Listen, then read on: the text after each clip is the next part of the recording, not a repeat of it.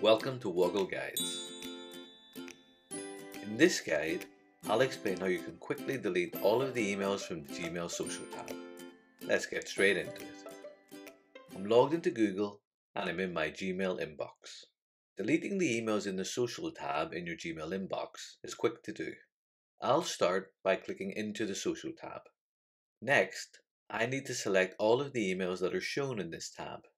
I can do this by moving my mouse to the checkbox at the top left of the inbox.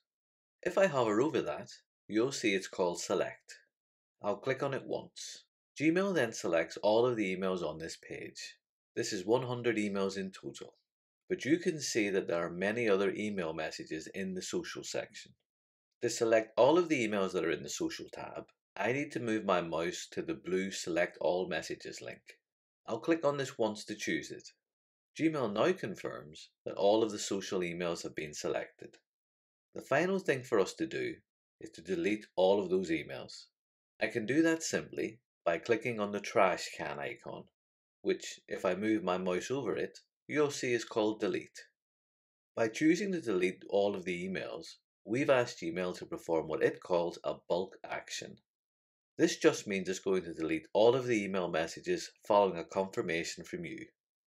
If you're sure you want to delete all of these social emails, click on the large blue OK button to proceed. Depending on how many emails you have in the social tab, it may take a little while to complete that request. But once done, Gmail will confirm that the emails have been moved to your trash can. These emails will stay in your trash for 30 days and then will be permanently deleted automatically. If you want to find out how to delete those emails straight away, check out the Woggle guide shown above that explains how to do that.